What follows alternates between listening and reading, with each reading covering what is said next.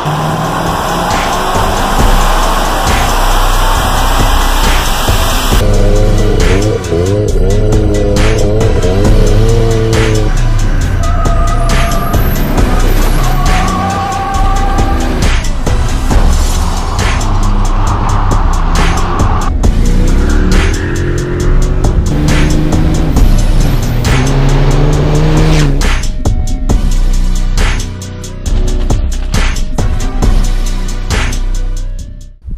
Going on? It's been a while. I've been working 60, 70 hours a week at a new job. Uh, doesn't leave much time for cars, but I do have a lot more money now, which is going to be obvious here in a second when I show you things I've been buying.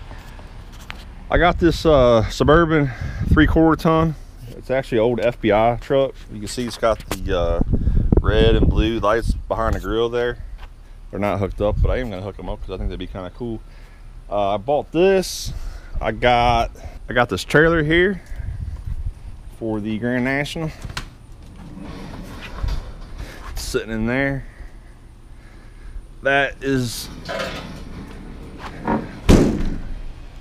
that has turned into a uh, much more crazier project than I had previously intended due to my increased finances. Uh, this here is a motor out of a NASCAR Busch car. Uh, it's a Buick V6. Uh, when I get done with it, it should be good for about 1600 horsepower, which should get that car with full interior, street car, should get that into the sevens, which is my goal for it. I'm sure it'll take some dialing in and a little bit of work to get there, but that should be enough power, 1600 horse. Um, this thing, I tried to tow my trailer in Grand National with this and uh, it got very warm. And then the cool plastic radiator decided to split. I don't know if you can see it's got a crack right across there. It's leaking out. So the stock radiator is about an inch thick right here. Inch thick core on this radiator. Got a new aluminum one off Amazon. Uh, two and a quarter, so more than twice as thick. Hopefully that equates to a lot more cooling. I got a cute little doggy here. This is Lily. Also have a new fan clutch. This is supposed to, uh, I think, spin a little more than the stock one did. It slips a little less, a little bit more cooling with that. I got a new water pump. I went ahead and put a colder thermostat in too.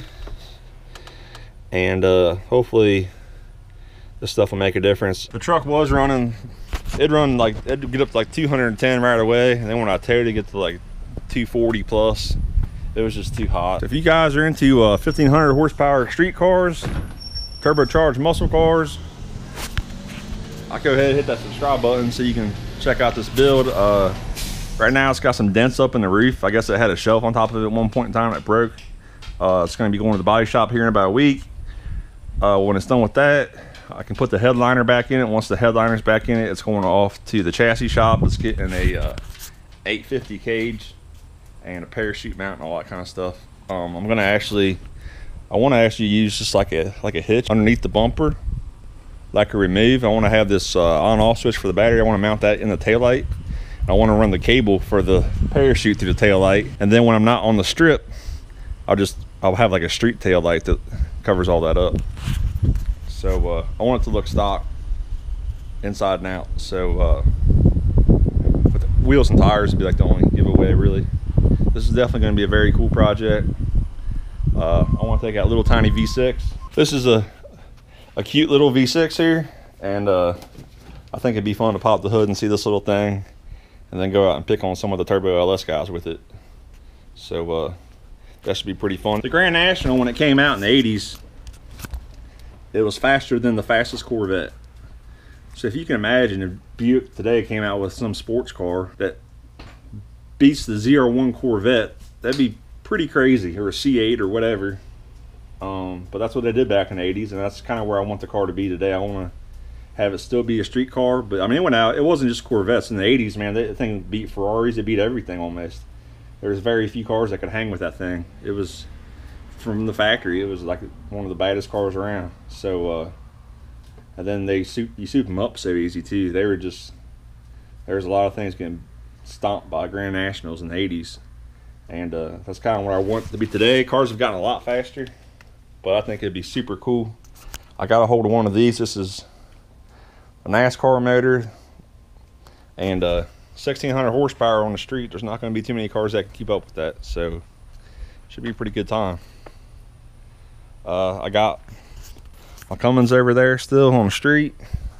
That truck has uh, way more fuel than it needs.